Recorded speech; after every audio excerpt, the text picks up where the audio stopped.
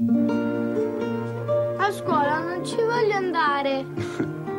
Senti, io il primo giorno di scuola ho fatto uno scherzo alla maestra. Sai cosa? Le ho nascosto un pupazzo nel cassetto.